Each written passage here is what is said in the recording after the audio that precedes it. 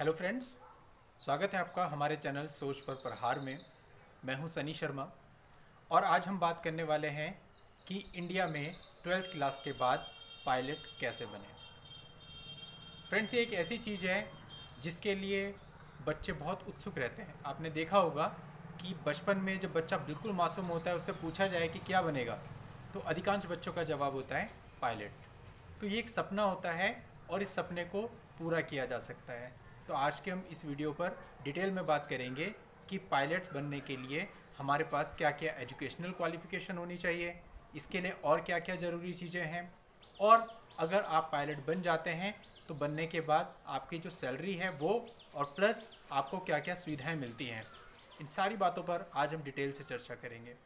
दोस्तों, आपसे कहना चाहूँगा कि अगर आपने अभी तक हमारे चैनल को सब्सक्राइब नहीं किया है तो सब्सक्राइब कर लें और नोटिफिकेशन बेल पर ज़रूर क्लिक कर लें ताकि मैं जब भी ऐसी कोई वीडियो लेके आऊँ, उसकी नोटिफिकेशन आपको सबसे पहले मिले। तो चलिए फ्रेंड्स स्टार्ट करते हैं अब आज के टॉपिक को। दोस्तों पायलट कैसे बने? इसके लिए पहले ये जानना ज़रूरी है कि जो बेसिक कैटेगरी पायलट्स की है, वो कितनी है। तो हमारे इंडिया में जो पायलट की कैटेगरीज हैं, उनको आप दो भागों में बांट सकते हैं। पहला pilot of Indian air force air force एक गवर्नमेंट का सेक्टर है इसलिए आप इन्हें गवर्नमेंट पायलट्स भी कह सकते हैं और दूसरा कॉमर्शियल पायलट तो दोस्तों, आज की इस वीडियो में मैं बात कर रहा हूँ गवर्नमेंट पायलट्स पे। यानी पायलट्स ऑफ़ इंडियन एयरफोर्स में कैसे जाया जा सकता है, उसके लिए क्या क्या ऑप्शंस आपके पास अवेलेबल हैं। इसके अलावा कॉमर्शियल पायलट पे भी मैंने एक वीडियो बनाई है।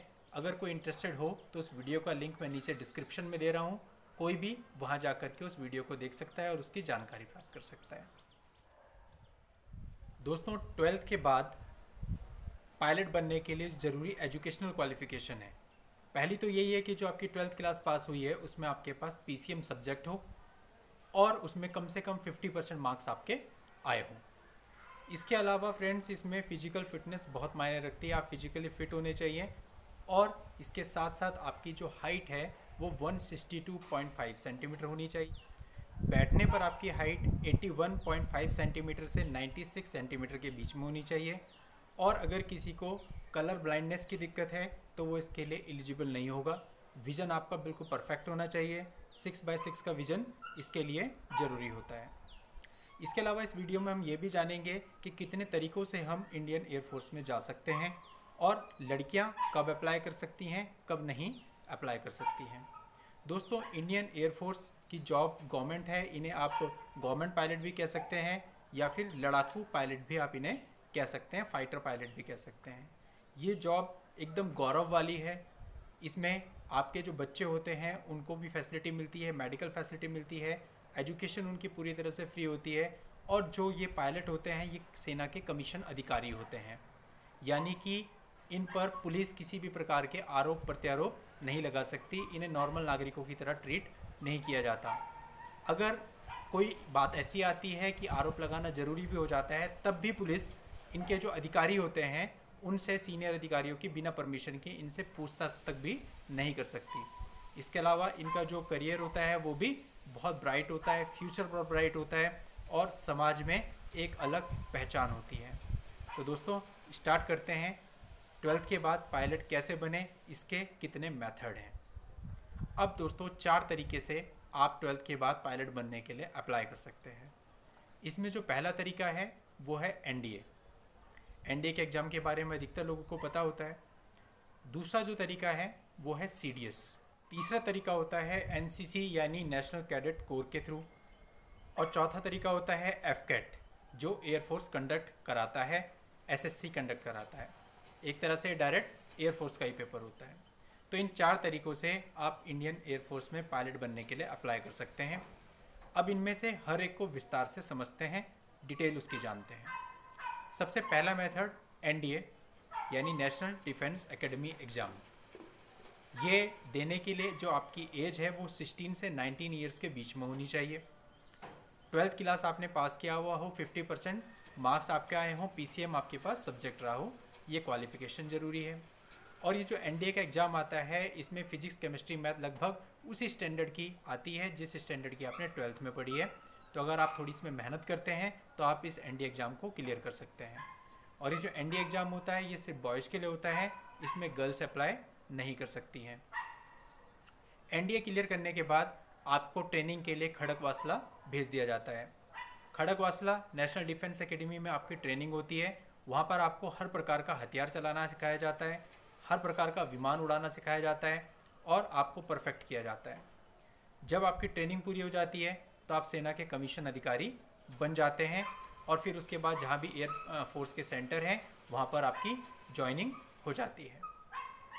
अब दूसरा तरीका आता है सीडीएस आप सीडीएस के थ्रू भी एयरफोर्स में जा सकते हैं, यदि आपका मौका एनडीए का छूट गया है या किसी वजह से क्लियर नहीं हो पाया है तो CDS आपको दूसरा मौका देता है। लेकिन यहाँ पर आपकी क्वालिफिकेशन डिफरेंट है, यहाँ पर आपका ग्रेजुएट होना ज़रूरी है। और ग्रेजुएशन में आपके कम से कम 60 परसेंट मार्क्स आए हों। ग्रेजुएशन किसी भी स्ट्रीम से हो, लेकिन साइंस सब्जेक्ट होना बहुत ज़रूरी है। बीटेक बीई e वाले भी इसके लिए अप्लाई कर सकते हैं। ये जो सी का एग्ज़ाम होता है, ये यूपीएससी कंडक्ट कराता है। सी के एग्ज़ाम के लिए जो आपकी एज है, वो 19 साल से 23 साल के बीच में होनी चाहिए। CDS का पेपर जून और अक्टूबर साल में दो बार कंडक्ट किया जाता है। तो यानी एक साल में दो बार आप CDS के लिए अप्लाई कर सकते हो।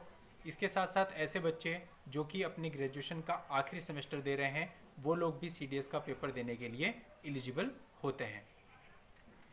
इसके बाद तीसरा तरीका आता है NCC यानी नेशनल कैडेट कोर के थ्रू एयरफोर्स में अप्लाई करना। इस माध्यम से एयरफोर्स ज्वाइन करने के लिए ज़रूरी है कि आपने पहले से एनसीसी ज्वाइन किया हुआ हो। इसके लिए आपको एनसीसी की एयर विंग में रहना पड़ेगा। और जो एनसीसी की एनसीसी की एयर विंग होती है, इसकी जो सीनियर डिवीज़न होती है, वहाँ से आपको सी सर्टिफिकेट लेना पड़ेगा। ये एक तरह की ट्रेनिंग होती है, जो आपका ग्रेजुएशन है। ग्रेजुएशन आपका सिक्सटी परसेंट से पास होना इसमें भी ज़रूरी है। लेकिन ये जो एंट्री होती है, ये परमानेंट नहीं होती। इसका मतलब जैसे एनडीए और सीडीएस साल में दो बार होंगे ही होंगे, ये फिक्स है। लेकिन एनसीसी के थ्रू जो एयरफोर्स में एंट्री होती है, ये फिक्स नहीं होती। इसके लिए आपको जो भी आपकी एयर विंग होगी, वहाँ के जो डी हों, उनसे आप संपर्क कर सकते हैं। ये जानने के लिए कि कब इसमें एंट्री हो रही है और उसके अकॉर्डिंग आप इसमें अप्लाई कर सकते हैं। इस माध्यम से भी केवल लड़के ही अप्लाई कर सकते हैं। लड़कियाँ इसके लिए एलिजिबल नहीं होती हैं। अब हम बात करते हैं चौथे मेथड की।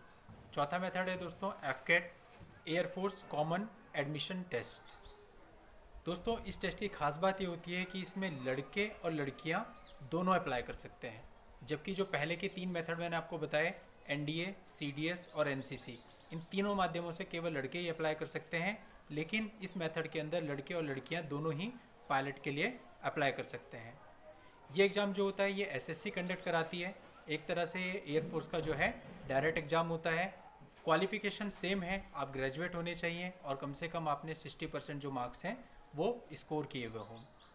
लेकिन इसमें जो आपकी जॉब होती है, वो शॉर्ट कमीशन होती है, यानी जो आपकी जॉब है, वो 14 साल तक आपकी रहती है।